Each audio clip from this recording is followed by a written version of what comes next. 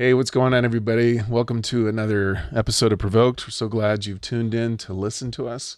I uh, am here, and my buddy Jake Bull is here again to help us out. Really appreciate you being on the show and all the, here. the help you've assisted us with. Yeah. Desi is not away, which the beautiful factor, unfortunately. I know is, is now lacking Yeah, you- severely. You've got a lot of testosterone in the room. That- no, but she uh, is taking a little break for this week. She'll be back in a couple weeks, and um, yeah, we're excited to be on today. Um, if you've never ever been on the show, we kind of wanted to maybe reintroduce ourselves a little bit.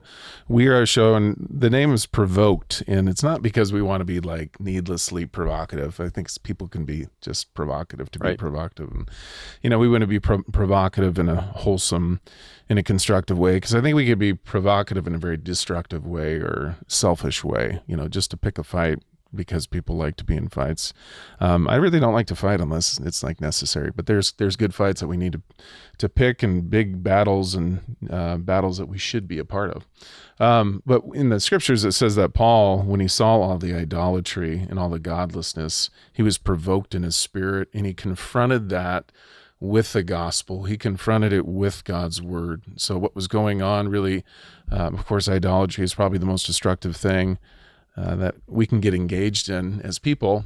But when he saw that, he brought the word of God to bear upon it. He brought, he brought the Christian worldview to bear upon it. So we picked that name because in our provoking, we want to uh, not only deal with all these ideologies that raise theirself up against the knowledge of God that we have to, as God commanded, tear down, but also um, provoke our Christian brothers to love and good works, right? Absolutely. Just to do the work of the ministry, just to come alongside of the local church come alongside of our brothers and sisters and uh, give you some attaboys and some hopefully helpful instruction on how to biblically evangelize and go rescue babies and and all that. So that's what we're about. But what you could do, and what we would ask you to do in response of really consuming from Apologia, Apologia is a uh, one in a billion type of podcast. There's just no other podcast like it. It's a one stop shop for just a lot of good stuff, you know, when it comes to the uniqueness of our cultural involvement, the things that we do in regards to trying to rescue people out of the cults, of course, baby rescuing, baby saving, and on and on and on. So, what we don't want to do as Christians is only consume and not really contribute to those ministries that are working hard to uh, bring glory to God and expand the kingdoms. And that's what we're trying to do, simply. So what you could do is go to Apologia Studios, become an all all access member, and then in so doing, your support will help us to keep this ship going, and that's what we want to do. So if you could do that at this moment, we would really, really appreciate that. So what are we doing today? What's new with you? What's new with me?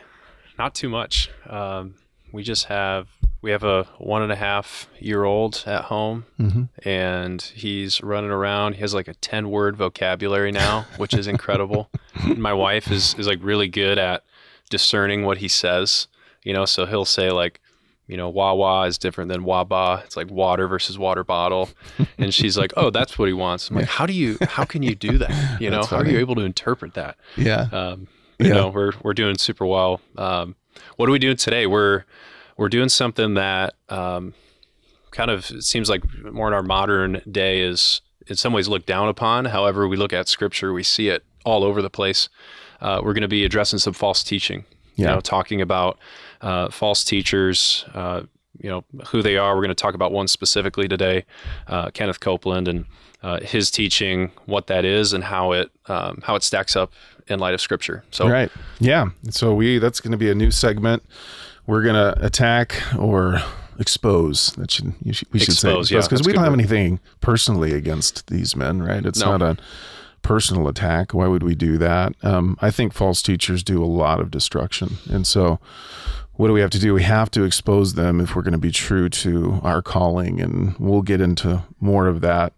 But um, yeah, considering the culture and everything that we have to deal with as far as far as wokeness and ideologies, I mean, I guess the the first question that we have to ask is: Should we be calling out people? Mhm. You know, because I think a lot of people would say this is counterproductive. This is not right. Why don't you just stay in your lane? Why don't you just do what you do? These people might be doing some good, therefore they're untouchable. But Yeah. is really is that the biblical approach? Um, should we be doing this? What do you think? We see a lot of different places in God's word where this this specific topic is addressed. So one of them, and perhaps one of the most prominent for believers in general, comes at the end of Romans. It's in Romans chapter 16. It's in verse 17. Paul says this I appeal to you, brothers, to watch out for those who cause divisions and create obstacles contrary to the doctrine that you've been taught. And then he says, avoid them. So, uh, first of all, there's this command here to watch out for them and watch out who's them, you know, the people who cause divisions and create obstacles contrary to the doctrine that you've been taught, mm-hmm. the doctrine that we see in the scriptures. When we see those people, uh, we are to, as he says, avoid them. And uh, we see another place, you know, Titus chapter 1, verse 9, elders specifically uh, are called to hold firm to the trustworthy word as taught so that they, they can give instruction and sound doctrine, but also to rebuke those who contradict it. Yeah. A few verses later, Paul's talking to Titus and he's talking about the um, the Cretans, and he says to rebuke them sharply that they may be sound in the faith. Mm-hmm. So there's this positive aspect of we are to hold to sound teaching, sound doctrine. Uh, sometimes when you get into the nitty gritty of that, you'll even get some disagreement. But uh, that one, there's not as much opposition. But when you get into the negative aspect of what what Christians are called to do, rebuke false teaching, and specifically also rebuke false teachers. Uh, that's something we see all over the pages of Scripture, and it really comes down to getting into the gospel and what what the gospel is. If you have teachers who are perverting the gospel. They're teaching another way to be saved. They're even drawing people away from how to actually be saved. Uh, Paul, there's no one who's stronger on that than Paul when he pronounces an anathema or a curse on the people who preach a different kind of gospel. And that's right. what we'll get into. Yeah. Yeah. Because unfortunately, I think what we experience, is, especially in the American evangelical church, is the, um, the value of tolerance that our mm-hmm. culture has, right? Yeah. So, you have to tolerate everybody. And if you don't tolerate anybody or and everybody, regardless of what they're doing, then you're canceled. You're doing the wrong thing. So, right. and I think the scriptures really warn the people of God with intermingling with pagans, right? Yep. Interming- intermingling with the godless, because then we begin to adopt their antichrist anti-God type of ideologies. That's why I think a lot of people will look at this and say, "Oh, look at these guys. You know, why why do they have to be calling out these these men? Yeah. Because they value that unbiblical kind of um, issue of tolerance that mm-hmm. is completely antithetical to what the scriptures teach, right? Yeah, and it and it leads people astray. You know, Paul warns Timothy at the end of his his uh, it's his last letter Paul ever writes Second Timothy. He warns him that there's a time coming when people will not endure mm-hmm. sound teaching but they'll have itching ears ears. They'll acquire uh, teachers to accumulate you know they'll accumulate teachers for themselves and they'll turn away from listening to the truth and they'll wander off into myths. Right.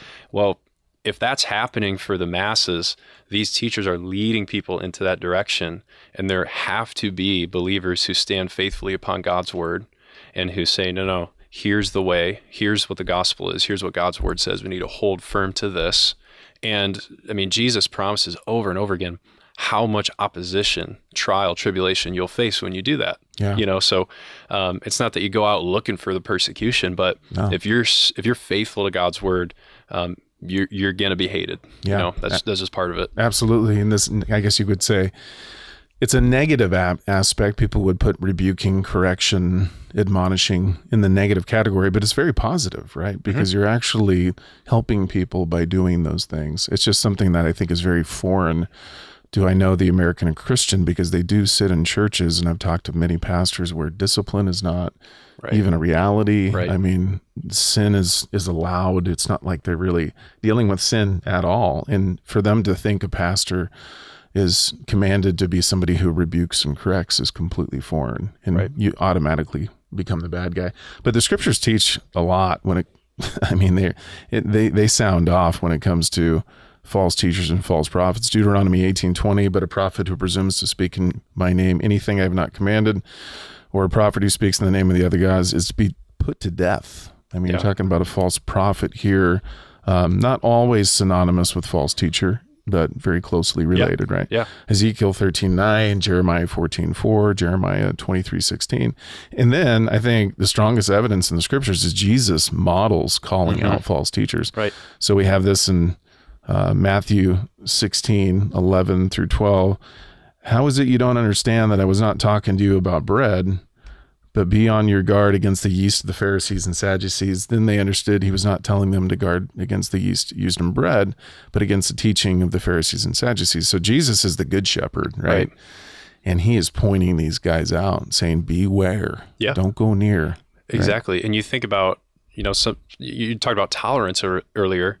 Some people try to say, well, we don't need to be combative. We don't need to call people out like this because it's not loving. You know, it's not mm-hmm. loving to do that. Well, the question, the response to that is, well, okay, are you are you more loving than Jesus? Because Jesus called these people out. Mm-hmm. You know, he says down here, Matthew 23, he's rebuking the Pharisees. You brood of vipers, how are you to escape being sentenced to hell? Mm-hmm. You know, and, and that's that's out of the mouth of our Lord, of the as you said, the Good Shepherd. Right. Um, he's talking this way. Uh, that means there's a time and a place to address teachers who lead people astray, who lead people away from the truth. Uh, there's a time to stand up against that Yeah, um, absolutely. and rebuke it. Yeah, uh, that's what you see the Lord do. Um, but in Acts 20, 8, 28 through 30, I mean, well, going back to Matthew 23, I mean, when you're saying woe unto you, how many times in Matthew 23 did Jesus say woe unto you, false teachers? I mean, they are absolutely doomed. Could you imagine a false teacher standing before God when he speaks to them in these type of with these type of strong words, Right. strong rebukes? I mean, condemnation, doom is coming your way. So, like you had written here, I think one of the loving, the most loving thing we can do to a false teacher is to expose him, to warn him, Yeah. to actually bring these things to him, saying, "Brother, you are headed for a very, very scary reality, a very, very um, fearful destination, falling into the hands of the living God. Right. If you don't turn from these things, and then we have just a direct command by God to shepherds and elders, right? Acts 20, 28 through 30. Keep watch over yourselves and all the flock of which the Holy Spirit has made you overseers.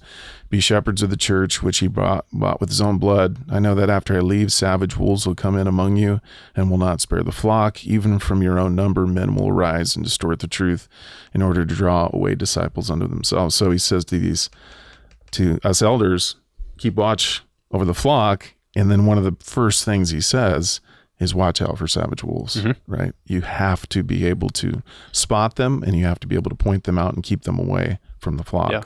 Right. And, and the and the wolves, you know, Matthew chapter seven as well. Jesus elaborates on this idea. The wolves look like sheep. Yeah.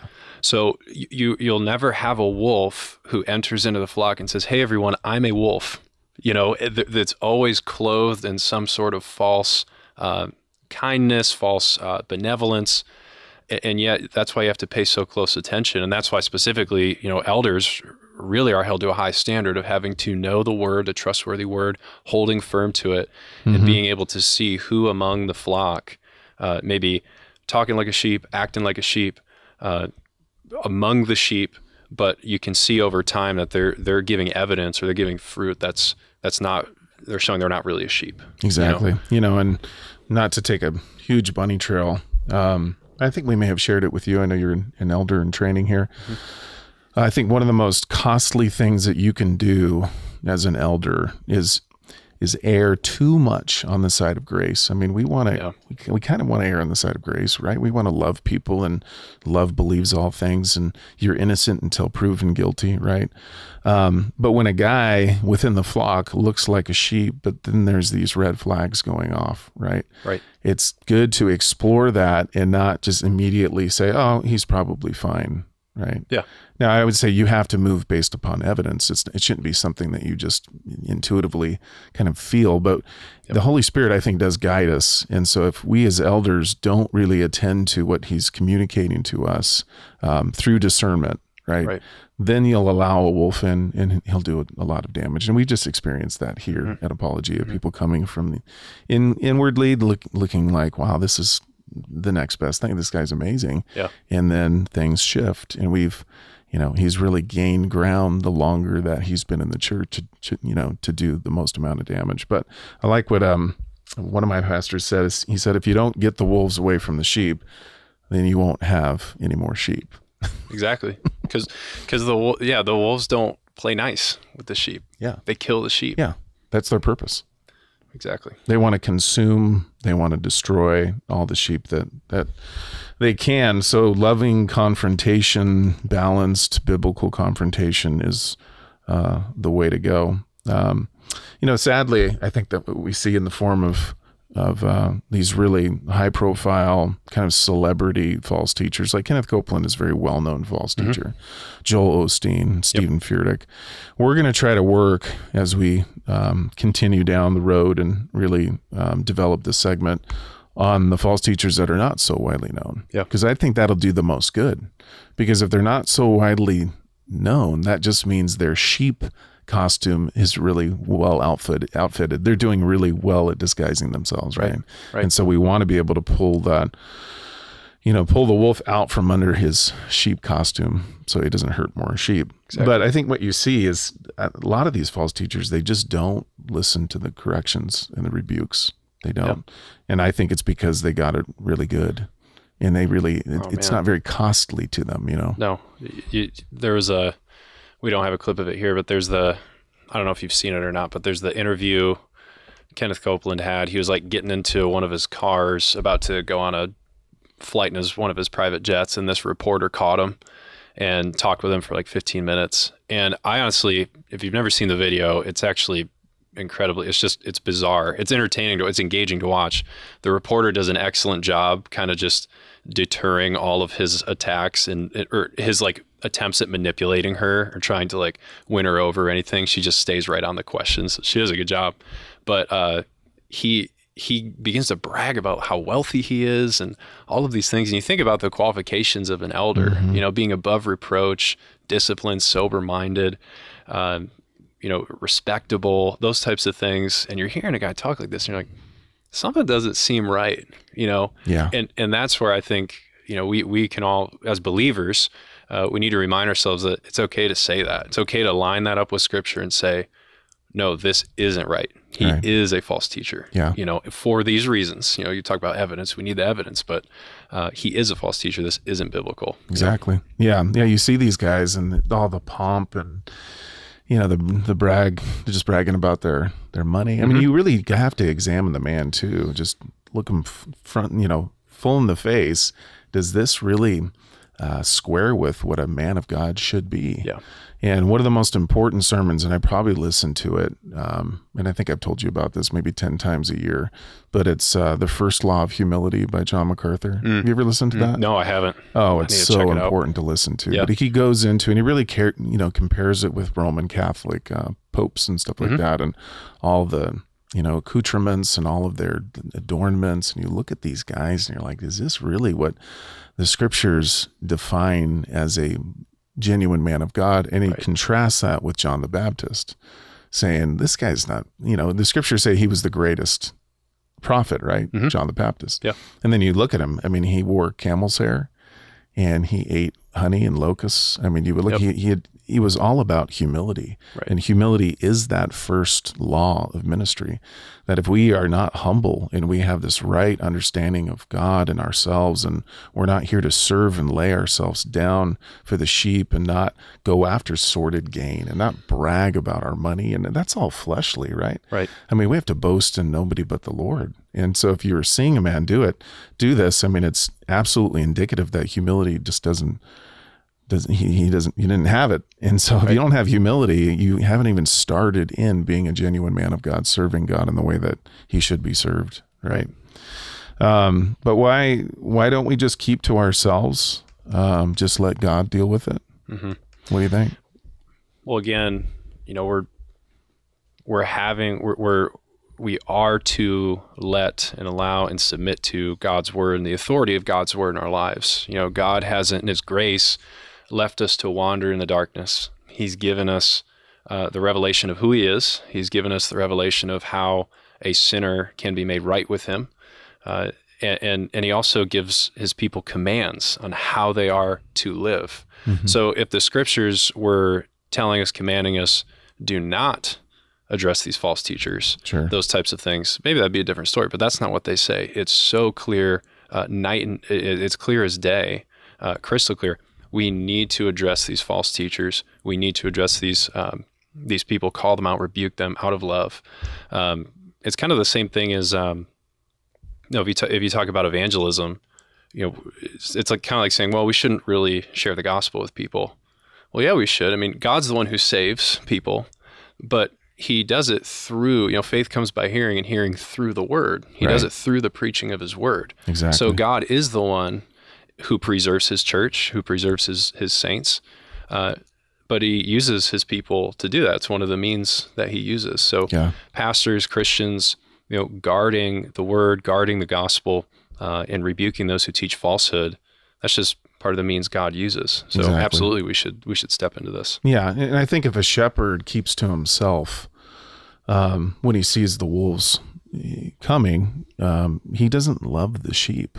Right, right. Uh, a shepherd has to protect the sheep. Yep. You know, so you have to ask yourself, you know, even if you're a pastor listening to this, if you don't want to get into this hard work and it's not the most comfortable work of warning your flock um, of wolves, what are you doing it for? Mhm. You know, what's the motive there? Yeah. Is it really to lay your life down for these people to ensure their protection, spiritual, physical? Or are you doing it for some other reason? Because if you're unwilling to lay your life down, then are you just using this position in the sheep for your own selfish gain? Could be. Yep.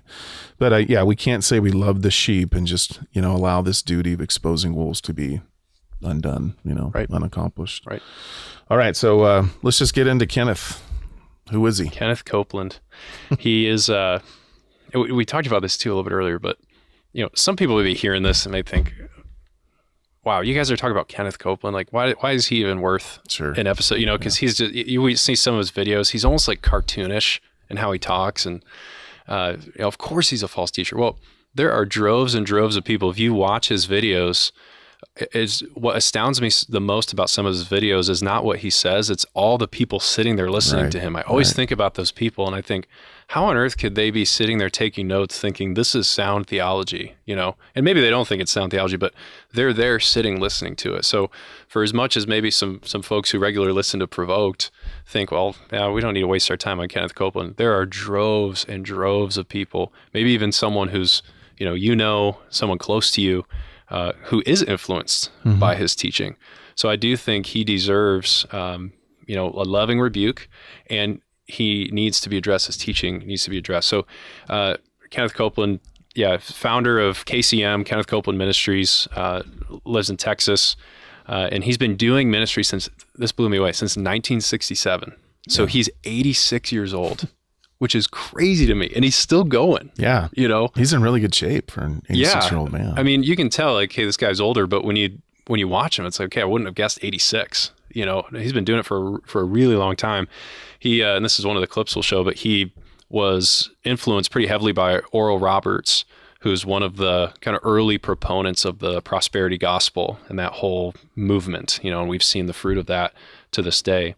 Uh, but he's a he, he's a, a teacher, and we'll, get into some of these different um, kind of different specific ways in which he's a false teacher. But uh, one of the big, big movements that he's a part of is the uh, word of faith movement. So you, some people may have heard it more commonly expressed as the like name it and claim it philosophy of, uh, of, of, of religion. I hate to even attribute it to Christianity, but it's this word of faith, name it and claim it. If I speak, I can then attain whatever it is that I'm speaking or declaring, you know, upon my life.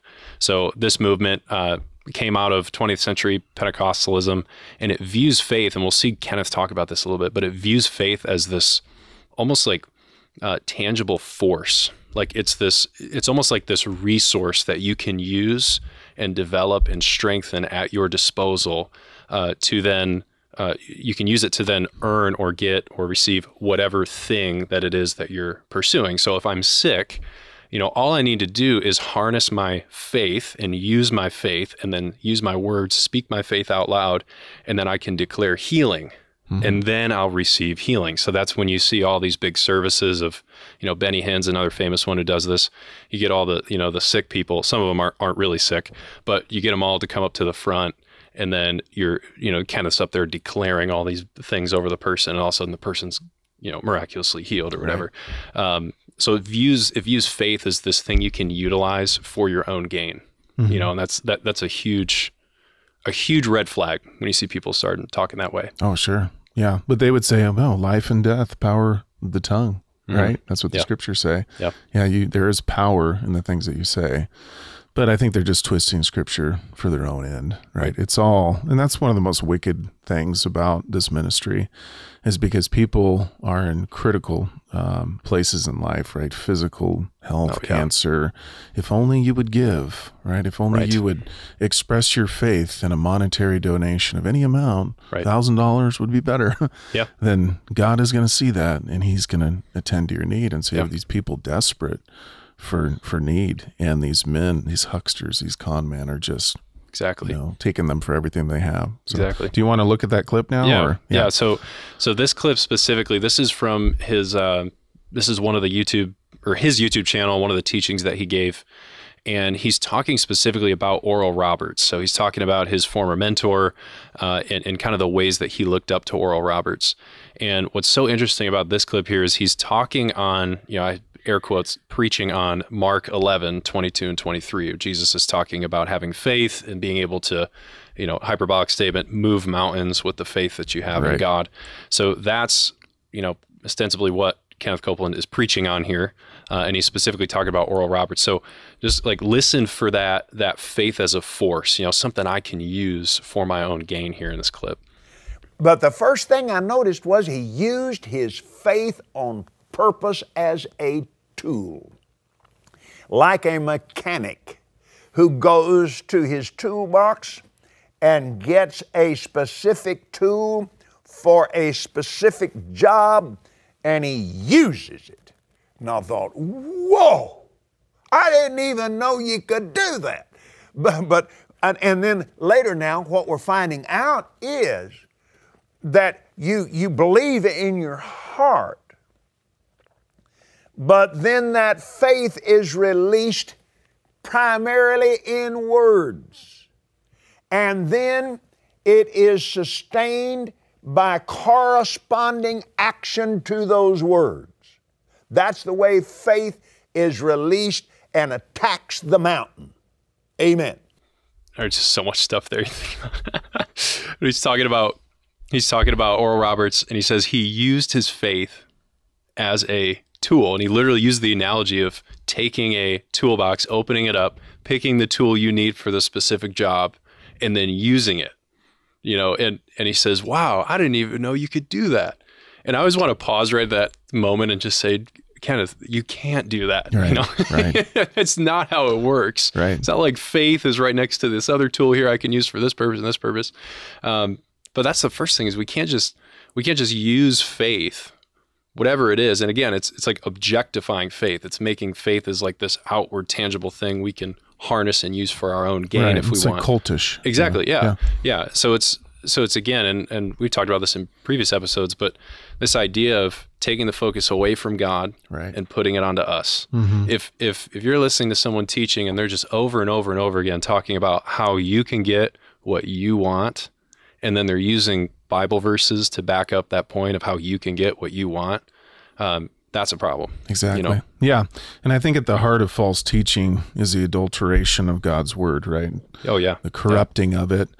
And it's it's a bringing God kind of off his throne, right? To where you know, like he even said, you can use faith. So you become the focus, what you want. And really, God becomes a genie in the bottle Right. that you are just using to fulfill your every wish, which is completely antithetical to the Christian position. We are slaves to a master. Yeah. We are subservient to God. We live to serve Him, not just to use our faith so that God could serve our every need. So it just flips everything on upon its head, and it becomes as bad as it is. And I think what you see here, um, not to get off too far, but you see a man who chose horrible influences, right? Right. So Oral Roberts, he was his um, his personal pilot, chauffeur, Yep. and then Kenneth Hagin. So Yeah. you've got these two huge, horrible influences, Yes. and then this is the byproduct of the, you know being under that man's type of tutelage. So Exactly. what do we have to do? We really have to be careful who we use, who we look to as mentors, Mm-hmm. who we look to as spiritual advisors. Um, you know, I don't know his motives and intentions. I mean, We're not supposed to impugn those things. I mean, Right. the guy's worth eight hundred million dollars, Yeah, so we know that he has used his position for money. Unbelievably wealthy. Yeah, Yep. can you imagine that eight hundred million dollars? No, I can't. If you spent, I looked this up. If you spent a hundred million dollars, right? It would take if you spent one thousand dollars per day. Mm-hmm. It would take you 300 years to spend $100 million. This guy's got 800 Eight hundred million. Unbelievable. but it's it's wicked. Uh, I, I appreciate that point there. Who he allowed to influence him, you know, because again, in his mind, he's probably he probably gets done with that video and thinks, "Wow, that was great." You know, I was being really faithful there, mm-hmm. and it's it, that's why it, it matters to keeping a. Paul says this to Timothy, 1 Timothy four sixteen. Keep a close watch on yourself and on the teaching. Keeping a close watch, and what you were talking about with influences. Proverbs 13, he who walks with the wise becomes wise Right. but then the companion of fools will suffer harm. And Kenneth, with with those kinds of influences, you know, he's made himself a companion of fools. And not only now is he himself spiritually suffering harm, but how many thousands, probably hundreds of thousands, even millions of people are suffering harm now because of what he's propagating, things like that. Yeah, yeah, and that's what we need to do because what I think he does is they lock themselves in their own subculture, Yeah. right? Their own echo chamber. You'll see it in this next clip of people just like, yeah, yeah, like sycophantic Yes. ador- adoration Yeah, to where they word, begin yeah. to worship these type of men, and it's just yes men. Nobody challenging them. Nobody being Bereans. Maybe within their culture, I don't know, a good Berean saying, "Hey, this just doesn't square with the Word of God." Mm-hmm. But that's the people that we really want to reach.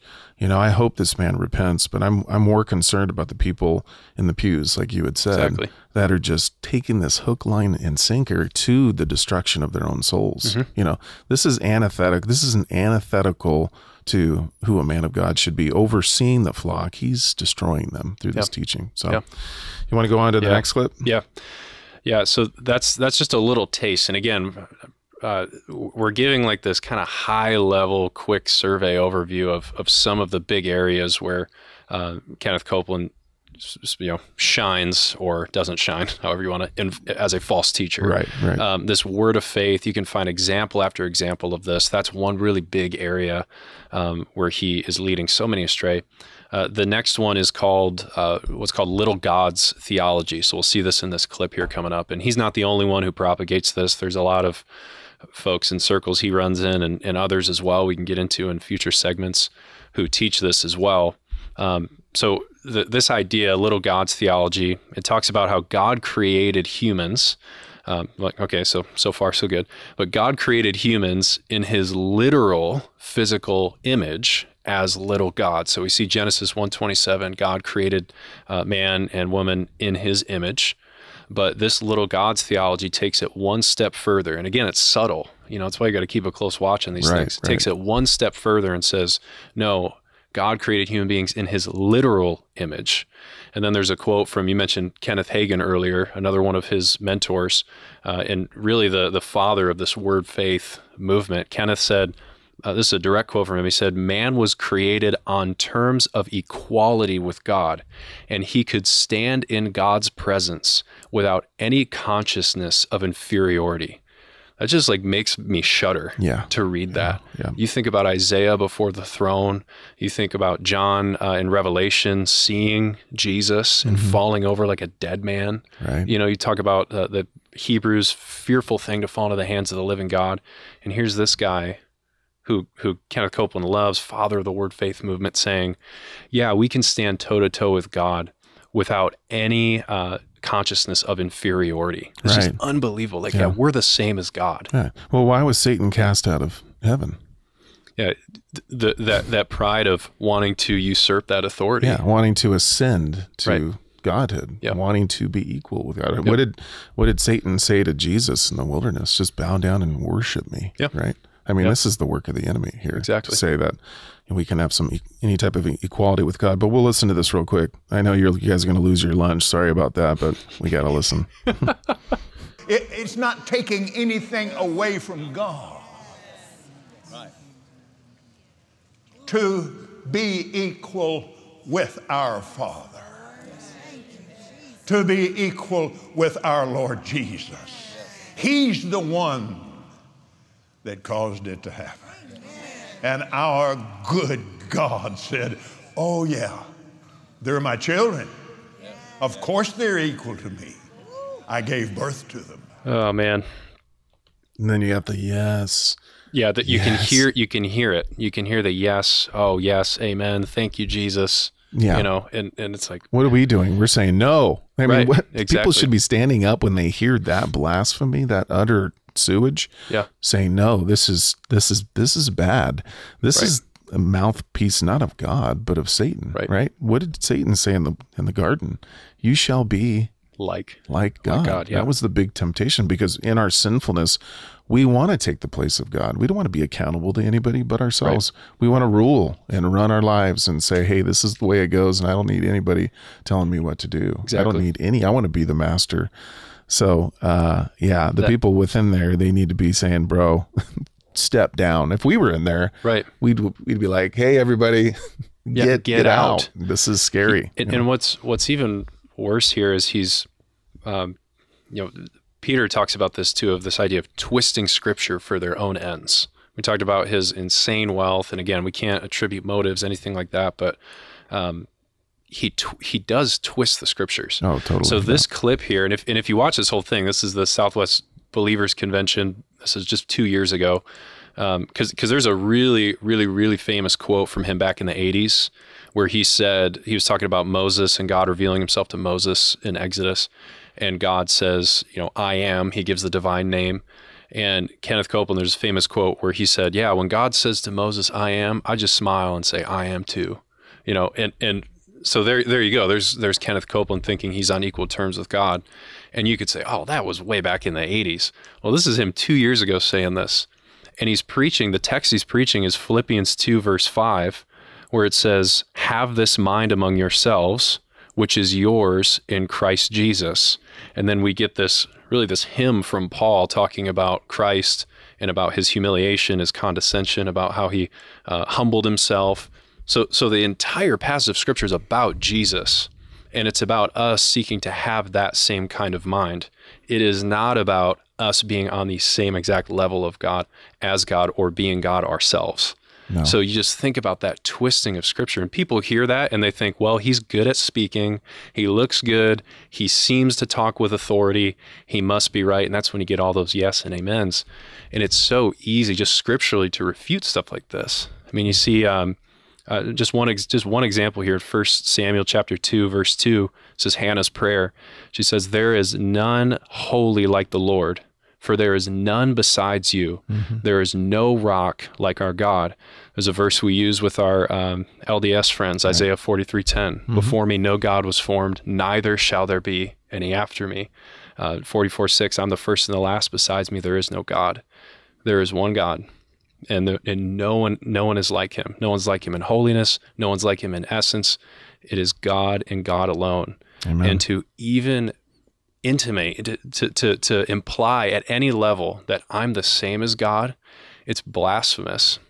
And there's people you read the Old Testament, they get drug out and stoned to death for stuff like that. Like this is deadly serious. Right. You know. Yeah. It reminds me of somebody asking MacArthur, I think at a Ligonier conference, what's the biggest sickness within the Christian church? And he said discernment, the lack of discernment. Yeah.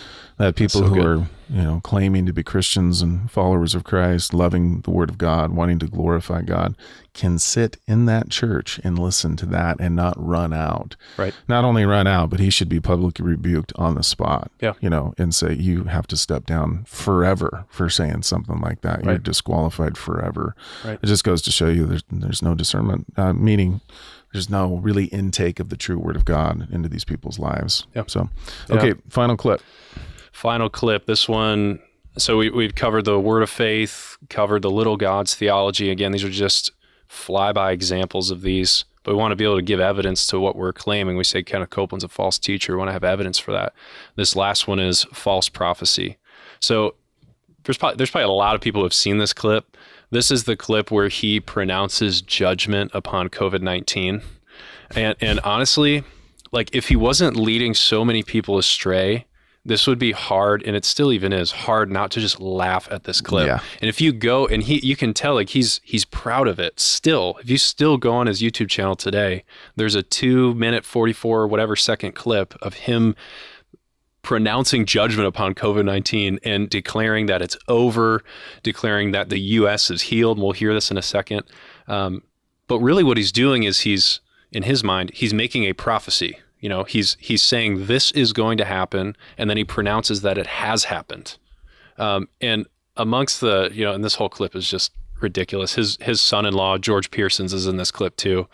And he's like you can tell he's so uncomfortable because kenneth starts like really going on and on about you know he's he, it's almost like it wasn't even planned. And he's just started yelling and screaming. And you can hear george like yes oh yes you know he's like trying to follow along with with whatever kenneth's Yeah. it. so we'll take a look at this this clip this false prophecy clip It No more. is finished. Finished. It is over. And the United States of America is healed and well Thank you. again, Praise. saith the mighty Hallelujah. Spirit Glory. Glory. of peace, who is also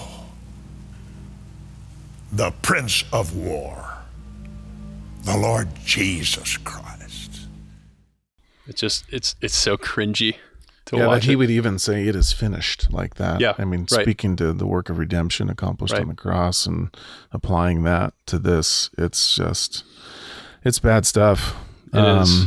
And then you got his, that's his brother-in-law or son-in-law. there? It's his son-in-law. So yeah, yeah, and he's been with KCM for a while now too, and uh, the whole clip is just it's only it's only like two and a half minutes, but man, it is hard to get through. The Yeah. first the first part's kind of funny because he just starts going off and yelling, and then George like doesn't really know what's going on, so he just tries to kind of fall in line. But as he's talking, you begin to see this.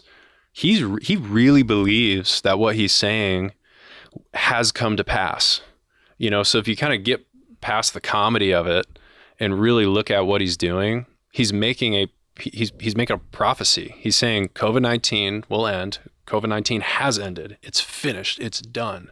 You know, and you referenced Deuteronomy 18 earlier, you know, cuz cuz it's one thing to identify the false teaching, but then it's helpful to be able to refute it and say here's here's why that's wrong. And it's as simple as going to scripture, Deuteronomy chapter 18, the test of a prophet right. okay, all we have to ask is did COVID 19 end? Because this is when this video came out, this was on March 30th of 2020. So this is like right when things started shutting down. Right. So we have to ask the question Did COVID 19 end on March 30th of 2020? No. No, it didn't. You know, it c- continued on and on. And uh, okay, so then what he said did not come to pass. And if we look at Deuteronomy 18, we can see that if a prophet presumes to speak in the name of the Lord and he says something and it doesn't come to pass, that's not a word that's from God. And then it says, don't listen to that prophet. You need not be afraid of him. And even in that passage there, too, that Deuteronomy 18 larger passage about false prophets calls for the prophets to be put to death. Again, this is a this is a serious thing. Right. You know, like th- this is a it, we can't just go around being like uh, willy nilly, flimsy with making statements like this. Right. You know, he's standing up there supposedly as a minister of the gospel, saying COVID nineteen is over. It's finished. You know, thinking that he can use whatever whatever office he has to mm-hmm. make a, a statement like that. It's like, no, this is this is serious. There's truly how I see it. It's it's like Romans three. It's like there's no fear of God before His eyes here. You know, Yeah, absolutely. And you, t- I- you know, I, I, I came from charismatic circles earlier on in life, and I've actually had talks with uh, charismatics and brought prophecy to them and talked about prophecy, how we don't believe that that's an operational gift today. Um, and then I've talked to a lot of people about other different false prophecies. You know, um, uh, Hinn has had false prophecies of Yep, Jesus. You know, he said Jesus was going to appear to him on the stage, never happened. Yep. But they would say, oh, you know, false prophets um, in the New Testament are different than the, than the prophets. Or sorry, prophets in the New Testament are different than the prophets in the Old Testament. They can make mistakes, prophets in the New Testament. So my question would be, if that's the if that's the case, then what is the criteria by which you can determine what a false prophet is? Right. If we can't look to Deuteronomy 13, Deuteronomy 18, and what it outlines, that that's the metric by which we gauge uh, what a false prophet is. Yeah. Um, then how can we determine Right. which is one and which isn't? You know. And, and if that's true, that New Testament prophets prophets can be wrong, that they can be false, then Jesus was wrong when he said in John 17, "Your word, God's word, is truth." Right. You know, it's what God speaks is true Right. always. He's unchanging. So uh, maybe to bring the plane Yeah. to a landing. Close it out. Um, why? I mean, you and I can sit here and listening to that is like pouring acid in our ears. I mean, it's really disgusting. Mm-hmm. Yeah. It's horrible. So my question to you, to, again, just to wrap this up, is why are people so beguiled? Why do they give the millions and millions and make this man a rich man? I mean, what is it about him that entices and just seduces so many people into this type of situation? What do you think? We we start with the heart of man. Uh, Jeremiah is clear about that. The heart is deceitful above all things. It's desperately sick. Who can understand it? The the unregenerate heart of a person is going to hate the light, going to love darkness, and going to love the things of the world, the lust of the flesh, the lust of the eyes, the pride of life. And that's going to cause them to want to gain the things of the world more and more. So it's and it's that second Timothy verse I shared earlier as well. People who have itching ears, who have hearts that desire things of the world, uh, who have hearts that love sin more than they love God, they're going to want to acquire for themselves teachers to suit those kinds of passions. And then that will turn them away from listening to the truth and wander off into myths. And that's one of my hopes for this podcast is to encourage, you know, any pastors who are listening in, who are standing faithfully on God's word, and they have a small, numerically only a small flock, mm-hmm. and are discouraged by that. How how come Kenneth Copeland has, you know, a million people or whatever, millions of people on YouTube following him, and I have 22 people in my church? You know, I must be doing something wrong. That could not be further from the truth. You know, we are told the gate is wide, the way is easy that leads to destruction. These people, teachers like this, there are going to be so many who, sadly, you know, it breaks my heart, are straying from the truth of God's word, straying from that narrow way and acquiring for themselves teachers like Kenneth. And that's why they have such big followings because people love that kind of stuff. It's easy to love the sin, it's easy to want the things of the world. The way of Jesus, it's hard. It's a hard, and, and there are few, uh, Jesus says, who will find it. Right. Yeah, that's good, man. Yeah. So um, maybe just to speak to Kenneth Copeland for a second. We don't know if he'll he'll hear this, um, but I think, sir, you should know that we we don't hate you, and we demonstrated that in the purpose of this podcast. Right.